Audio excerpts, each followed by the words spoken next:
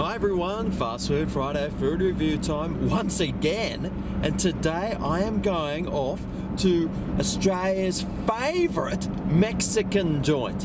In fact, it's probably only about one of three Mexican joints in the whole country. Mexican food here is not a big thing. Probably because no one here knows how to make it. But I'm going to Guzman y Gomez today to try one of their burritos. Now, Guzman y Gomez started in Sydney in 2006. It has now got over 100 stores worldwide. And when I say worldwide, I mean in Singapore and Japan. So it's in two other countries other than Australia, and the franchise is growing quite a lot. It's pretty popular. I haven't had it before, so I'm going to go in, buy one, see what it looks like, see what it tastes like, and give it a score out of 10. Now, I must admit, I haven't had a lot of Mexican food. Living in Australia is. we don't really have any. Can you believe that? Well, at least Guzman Gomez has put their hands up and said, come on, guys, come and try some Mexican. So let's whip on in there and try some authentic Mexican food. Let's go.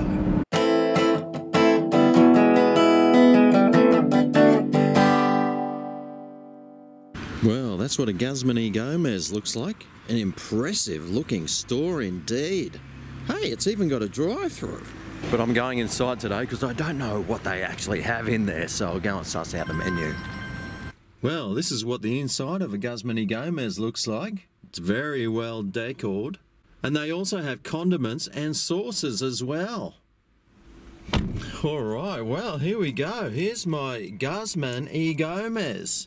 Now, this burrito cost me, well, they're $11.70, but I got the beef, so that was an extra 50 cents. So it was $12.20. That's a lot. It's got a good weight, but let's see how much it actually does weigh. 483 grams. That's just over a pound. Well, that's not a bad weight, is it? Hopefully it'll be pretty filling as well. Anyway, let's take a look inside, see what they serve inside one of their Guzman y Gomez burritos. Alrighty. How exciting, it feels like Christmas time. Wow, look what Santa brought. A burrito! Well, that's the size of it. Now that tortilla there is very nice and soft. Feels nice and fresh. So inside, Gee, I don't want to mess this up too much. Oh, that must be a nice piece of beef that I got. Dun dun dun dun dun dun. Whoa! That looks like it'll come out the same way that it's going in. So we've got quite a bit of cheese here. There's a fair amount of beef here as well. Got some diced onions. They look like they've been mixed in with a nice sauce.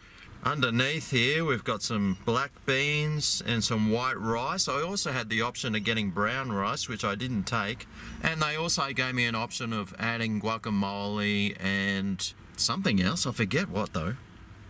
But I didn't want to fork out the extra dough for that because it was probably going to cost me another two bucks. So I thought I'd just get the standard one. So there we go. Beans, rice, meat, cheese and tomatoes.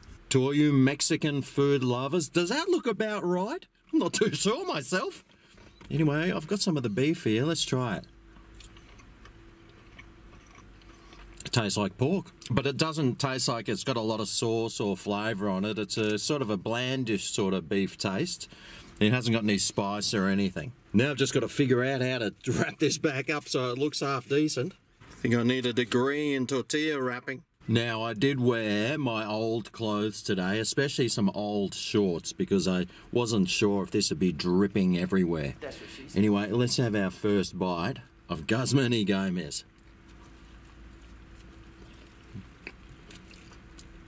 Mmm. Mmm. Mmm. Well, that tastes pretty good. Straight away, I got that beautiful flavour of Mexico in there. The black beans and the rice just mixed in really well together. They had that beautiful South American flavour. There was quite a lot of cheese as well, so I did get a really nice mouthful of cheese, which really complemented this meal. And the beef on there tasted really juicy and really nice. It all blended really nicely inside my mouth. It was quite tasty indeed. Let's go again. Mmm. Mmm.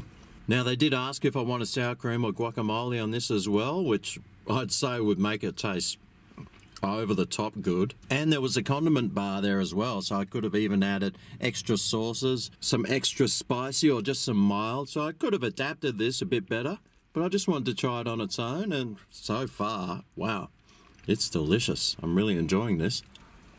It does have quite a lot of rice and beans on there, but there is quite a bit of beef there as well. Hmm, I'm really enjoying this. I think I've had enough of it now to know what score I'm going to give it out of 10.